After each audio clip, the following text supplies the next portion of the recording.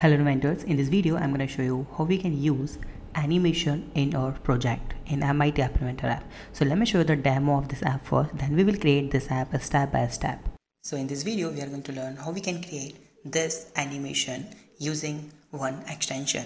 So as you can see here that's the ball here so whenever I click on that 12 it's animation types and see that's the animation type it's the animation type. So there are a lot of animation type you can use this animation type in your game okay? You can create some game using this method.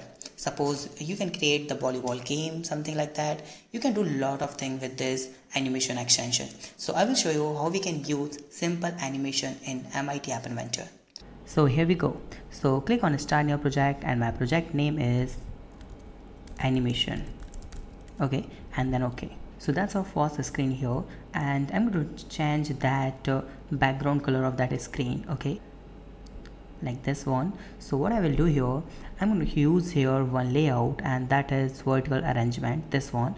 And I'm going to use one more layout as horizontal arrangement this one. I will make this vertical arrangement background is the similar is like that my screen background like this. And make this hide is fill parent and the width is fill parent like this. Click on that horizontal arrangement and make this width is fill parent like this.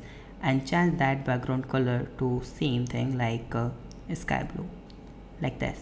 Now we need to use here some buttons like first button i'm going to use here this one. And in that button i'm going to use here like animate something like that. And then change that background color to similar to the pink or something or you can use the tail okay? And I will just copy and paste this like two and three times. Now I'm to use your one ball.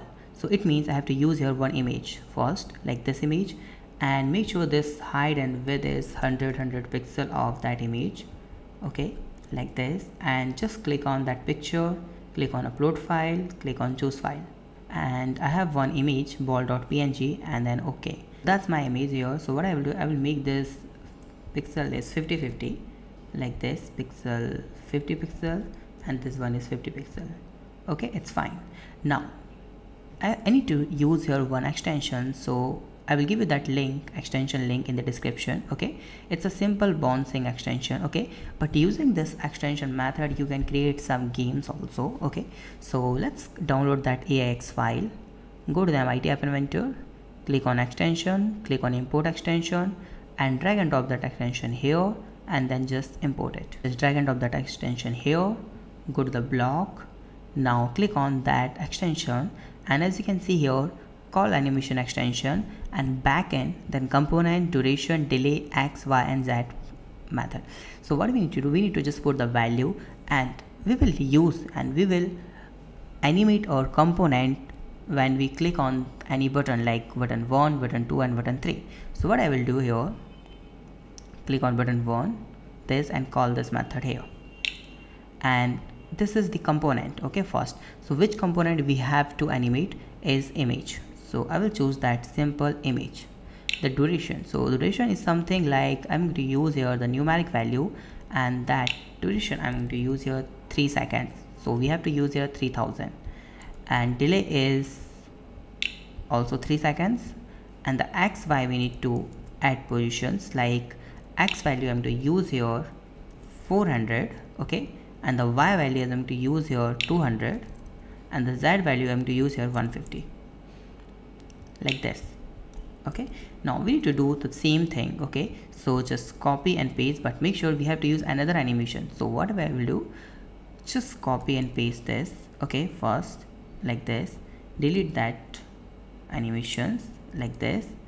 And we need to use here okay make sure we have to change the button name button 2 and button 3 and here you will see animation extension.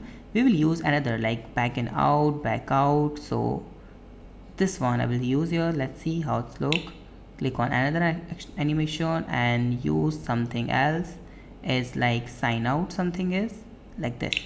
And we need to just again use the component like this so we have changed that x y and z value also okay? So that's the overall uh, app. Using this app you can create some volleyball game or something like that okay? So if you need any help on that so just comment on the video. I'll try my best to solve your problems. Thank you so much for watching this video. Please subscribe my channel like this video and share this video. Have a nice day. Be safe. Bye bye